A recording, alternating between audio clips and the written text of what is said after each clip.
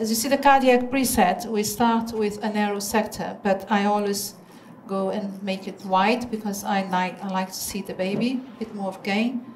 So moving down here, baby's head is down. As I move up, see nice face there again. So head is down. As I move up, the body is to the left. The spine is on the left. My spine, ribs. So trying to find a position where we can see the heart reasonably well. Not bad here. So then I narrow the sector. This is all old technique, you should know that. A bit more pressure in the maternal abdomen. Make it bigger. Narrow it again. So again, this is, has virtually no post-processing on that. So the image is there, you can see the information, and I'm just going to switch on this carving technique. It's almost the same position as I did before, isn't it? And you have different levels, so we start with off, and then low, medium, and high. I guess you can see the difference. The image is a bit cleaner. I'm just reducing the gain as well. Is it projecting well? Yeah. Not as good as the screen here, but uh, you can look at the one here if you want. So make it bigger. You see how you can see the movement very clearly.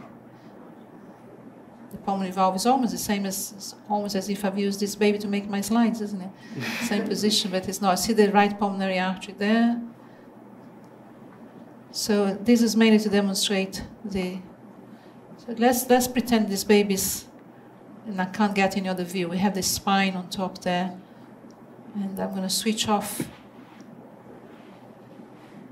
the carving and then try and again increase. And you can see that Too deep? and the Okay. It's strong. different levels here. You still need to man- manipulate the probe to try and get a good angle of insonation. So that's that's quite different from that, yeah? You see the difference? So all equipments these days, they have a degree of a lot of post-processing, but you want to see to be able to see valves opening and closing well. and You want to see the flap valve moving well. You want to see all the details. You don't want to take away like um, Photoshop. Yeah, take all the you know, beautiful pictures of people you see in the internet. They take away everything, but you take the details away as well. So let's put some um, color here, conventional color. See our velocity is coming at about um, 60 centimeters per second. I'm going to increase the gain a little bit. This is the conventional color.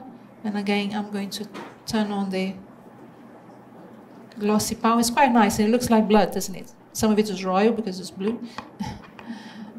That's why I tell the patients.